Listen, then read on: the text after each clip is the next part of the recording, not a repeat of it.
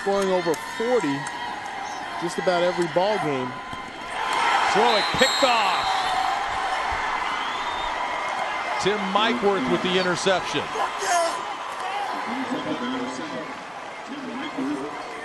Second interception of the game for Joliet Catholic. There's good zone coverage in the back end.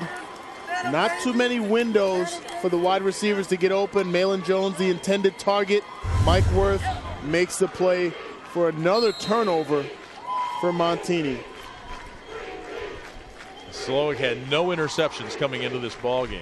Has a couple today, and you can hear the Montini fans cheering three-peat. And they're only 302 away from that. Rhose from his own end zone. Looking for Westerkamp. Has him, and he gone. 94 yards. Rhose to Westerkamp.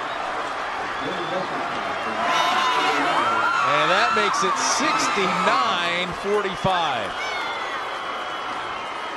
Don't close that record book just yet. We might have a few more uh, records to rewrite.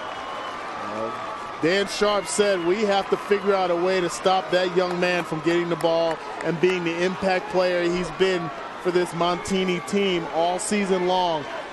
A great job, a nice throw and catch on the outside. John Rhose adds to his numbers with a huge play down the sideline and just another big play and a phenomenal day for the Broncos and Jordan Westerkamp.